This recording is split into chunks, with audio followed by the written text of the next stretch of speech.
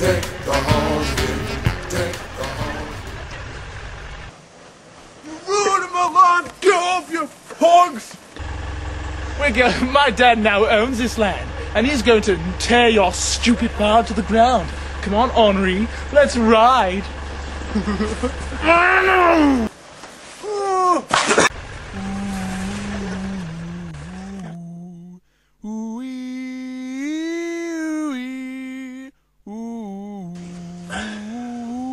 So, who found the body, Troy? Local pastor.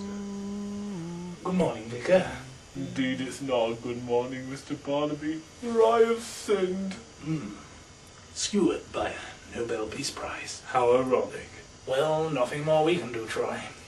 Back to the station for some more cream cakes, But, sir, I need to tell you. Oh, get out of the way, Vicar. Oh, the boy was bludgeoned to death Nobel Peace Prize. Hmm, interesting. Why is there?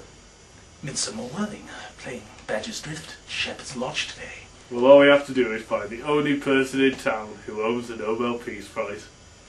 Oh, use your brain, Troy. The prize could easily have been stolen. Why do we get forensic on, forensics on it? Are you insane? This is a village constabulary. We can't afford fancy labs and such like. And anyway, forensics would be useless. After all, I com- repeatedly took hold of the victims and the Nobel Peace Prize whilst looking at it before. Did the boy have any enemies? Well, he did disgrace the local farm, but I think we can rule that out and... Perfect. Bring him in. And whilst you're doing that, I'll attend to the more important matter of getting some more cream cakes. I keep telling you, I had nothing to do with that murder. I wasn't even there on the evening. That turnip provider, Bert Jones, could rectify the story. I doubt that. Bert Jones was found dead this morning. No! Who killed him? I did, actually. I ran him over when I went to get some more cream cakes. Your alibi is nothing. To jail, Cyril Crabtree. Hmm. Now I'm in need for some more cream cakes. Mr. Barnaby, I confess! Oh, get out of the way, Vic. I haven't got time for this. I've got to make a date with the cream cake shop. Ah, nice box of cream cakes, two pound fifty indeed. Ah! Ah! Troy! Troy! Oh, I'm sorry, sir. I must have fallen asleep reading next season's script. I've been kidnapped. I've only just escaped. We'd better check on the prisoner. Look, wait. Do up my tie while we're on with it. Okay. Dan! Oh god, I must have fallen asleep reading the scripts. Hmm. Looks like the farmer has made like my driving license and expired. Criminal, sir. A note. This was the only way I could get him to listen to me. I killed Luke Ghetto. Signed, there's too much blood on the paper, Troy. Well, it seems obvious to me that the killer was the farmer.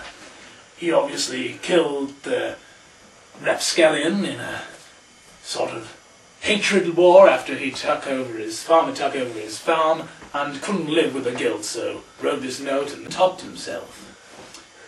Hmm, well put, Barnaby. I think I deserve another cream cake. Oh, you got my note?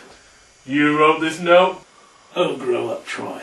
As I said, the farmer wrote it just before he committed suicide. I killed him! What was that, Troy? I killed the pie leader, the loveless tiff, and the low-life farmer. Relationship's getting stale, Reb. I'm off. Oh, I bet it's a girlfriend of yours! I'll kill you, you Exactly. Oh no! I had to get rid of the body, so I tried to frame the farmer. My guilty conscience drove me to confess, but you wouldn't listen. To top it all off, you kidnapped D.I. Barnaby as well. No, I didn't do that. Oh, that was just some punk kids who I told to move along a few weeks ago. Well, it was quite simple, really. Was the only one in this area to own a Nobel Peace Prize. Really? Yes. I'm glad I cracked the case eventually.